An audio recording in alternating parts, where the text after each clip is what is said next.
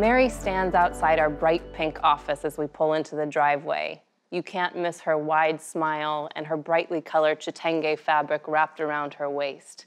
She greets us warmly and proceeds to show us the garden that she's planted in the back of the office. Today, Mary is harvesting carrots, and she proudly pulls out a few bushels for us to admire. We wash away the dirt and enjoy them for a snack. Sure, the carrots taste great, but what's more exciting is the joy and sense of achievement that Mary has on her face after her long and hard journey. Mary developed an obstetric fistula while giving birth to her second child. She went into labor at home, where her grandmother advised her to stay, which was common. She labored at home for over 24 hours before she finally went to the nearest rural health center. She stayed in labor another three days before she finally gave birth to a stillborn baby. Back at home, Mary noticed she was leaking urine uncontrollably. She tried to seek help, but no one knew what her condition was or how to help her. Mary lost her work. No one wanted to be around her due to the stench of urine. Mary felt helpless, isolated, and alone. Mary lived like this for 26 years. I first learned about obstetric fistula in 2008 when I was on a ward in a hospital in northern Tanzania. It was my first trip to Africa. There was really no reason for me to know what obstetric fistula was, as I'm sure many of you, of you here in this room didn't know what it was. I was young, in my 20s, not yet a mother, and I lived in the United States, where this, where this condition had been eradicated over 150 years ago. I remember walking along the ward side by side with a kind, soft spoken Dr. G, who told me about his work caring for women with this injury. I met many women that day, including Celestina, who was about my same age, but had a very different life trajectory than my own. Celestina already had eight children and had developed fistula on her last delivery. She thought she was the only one in, this in the world that was suffering from this condition until she went, went to the hospital and saw other women living like her. All she wanted was a chance at a normal, healthy life. All she wanted was not to leak urine and have to, her continence back. This visit deeply affected me. How was it that I had no idea about this condition and no one else did, yet it affected millions of women and it profoundly impacted their quality of life. And it was completely preventable and treatable. Yet women couldn't afford the cost of bus fare to go to the health facility, let alone afford the cost of treatment. This injustice sparked something in me and has never stopped burning. In 2014, I found myself packing my bags, selling most of my worldly possessions to move my life to Kenya and later to Zambia. I had joined the Fistula Foundation to go launch new programs that we hoped would transform the landscape of fistula care and treatment in the countries. Our mission to build a network of treatment centers, to train surgeons, health providers, and community health workers, and to support quality fistula treatment for thousands of women women like Mary and Celestina. This work was exciting and challenging, and I dove into it with a huge amount of passion and commitment. I was there to deliver results and exceed our targets.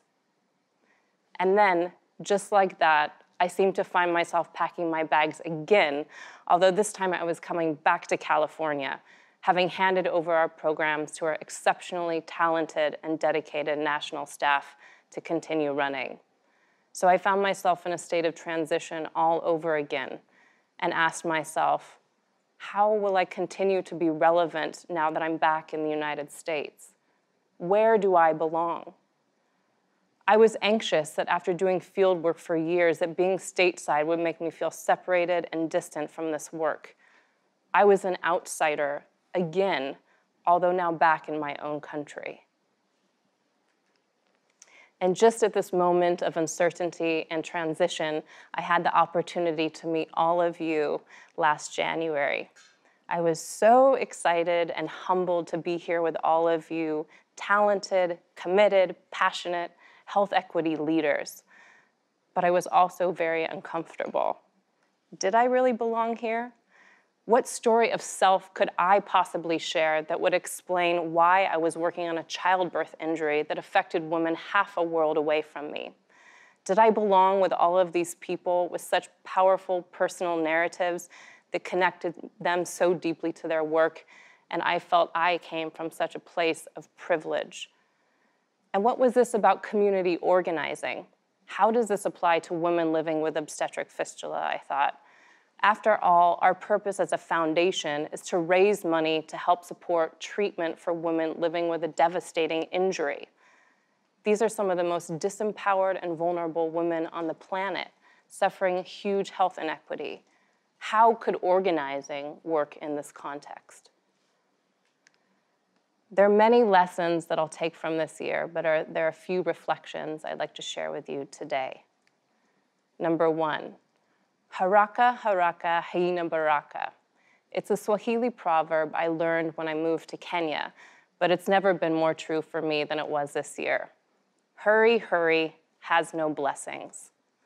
It's much better to do a job well and slowly than to rush and finish it. And the most effective solution is not always the most efficient. It's a very basic concept, but much harder to do in practice than in theory, and it's important to just slow down.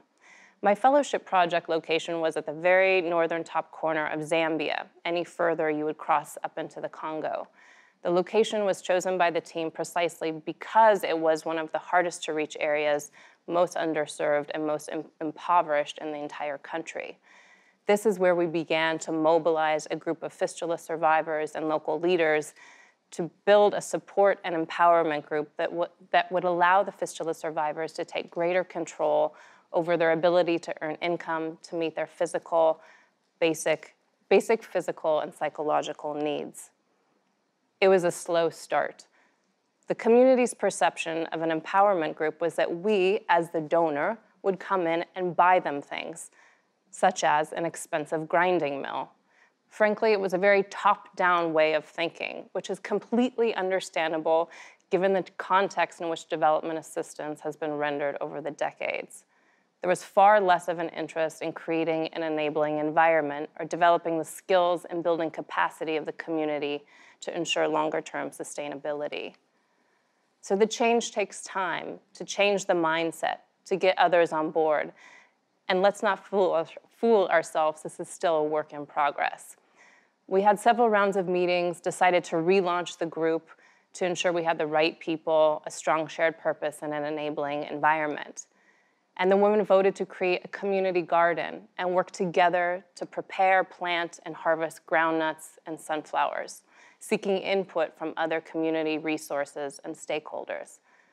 Mary, from our home office in Mansa, offered to go and spend time with the women to mentor and support them, sharing her own narrative and encouraging them to use their own skills and assets to take control of their lives and be advocates for themselves and for others. So the seeds have been planted, and we're still waiting for the harvest.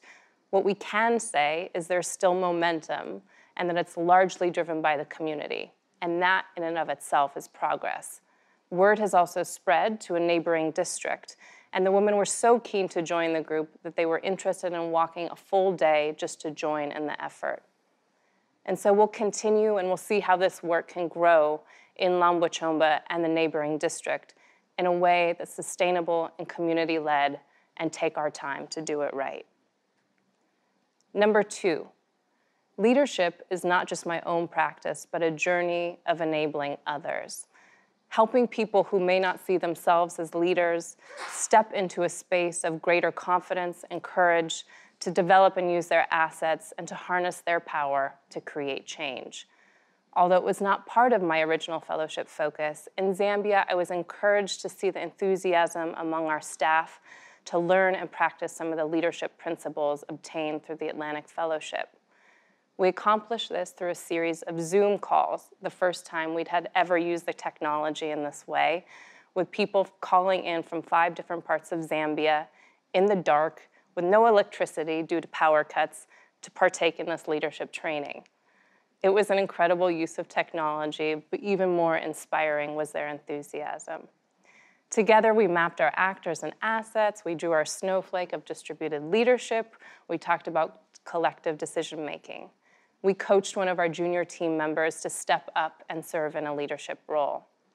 Recently, the permanent secretary of the Ministry of Health has written us a letter commending us for a job well done and personally calling out the exceptional leadership of our program director, Bwalia, by name.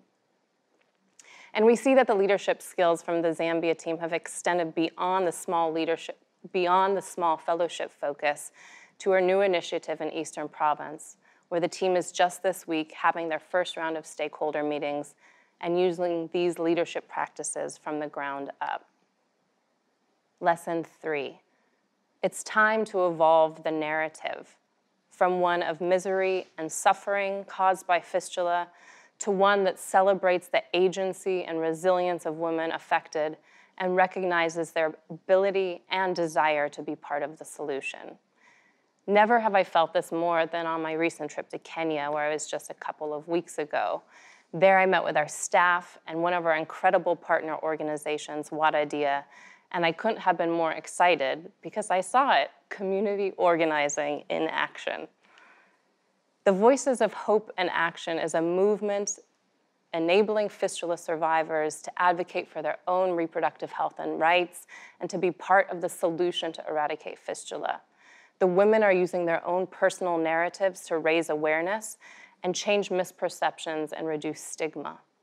They are organizing to get more women to access treatment and educating community members how they can also play a role in preventing fistula, such as ensuring that women deliver at a health facility with a skilled birth attendant. And finally, they're agitating to create forums with high level decision makers so they can advocate for greater allocation of resources that will help Im- improve visibility of this neglected condition, strengthen access to treatment, and will help get to some of the root causes to prevent fistula from occurring, like better access to family planning and emergency obstetric services. The women say they proudly that they're no longer a fistula sufferer, but a fistula survivor. And they embody the resilience, courage, and determination to make their own lives better and the woman in similar situations. And finally, number four, I belong here. Whether that here is in this room, in California, in Kenya, in Zambia, or somewhere in between, it's not whether I'm an insider or an outsider, it's how I engage that counts. And even though I may not be in the same room or on the same continent. And even if I don't have the same lived experience as the women with whom I work, I know that I can and I should contribute my own unique assets, power, and voice to be part of this fight. I'm inspired when I think of the movement underway and the seeds that have been planted with our staff in Zambia and Kenya, with the empowerment group in Lambachomba, with the Women in the Voices of Hope and Action Fistula Survivors movement. And I'm inspired when I think of all of you. So grateful for this forum and for this opportunity for us to come together to motivate, encourage, and inspire each other. And I think of the thousands of women like Mary who have better access to treatment through the work of our foundation, but who are now going beyond to be strong advocates, to use their own voices to bring about change. And as long as they're in the fight, I'll be there right there beside them. Day in, day out, we are all in this for the long haul. Thank you.